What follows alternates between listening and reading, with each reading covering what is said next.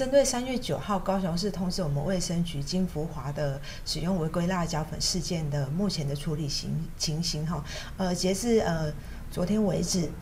我们已经回呃请金福华公司下架回收了三十一个品项的产品，那总计回收四万八千两百九十桶。的包装，它的包装有桶或罐瓶包的部分有四万八八千两百九十，好，那总计的呃公斤数是十三万七千一百六十六公斤，哈，那这个部分我们也请呃厂商要折付保款，届时我们呢会来做一个销毁的部分，那也折成我们的业者哈要每日呃还是回报我们卫生局每日的下架回收量，那针对今天呃金福华公司主动呃通知。针对于该公司所有的产品要下架回收的部分，呃，我们也感谢金福华公司，让国人实在安心，善尽他的社会企业责任。那这个是呃这个部分，我们卫生局也将就他下架回收的呃产品的部分来监督他销毁。五十五个品项，呃，这一个批次的呃违规的五十五个品项的部分，主要是金福宝系列的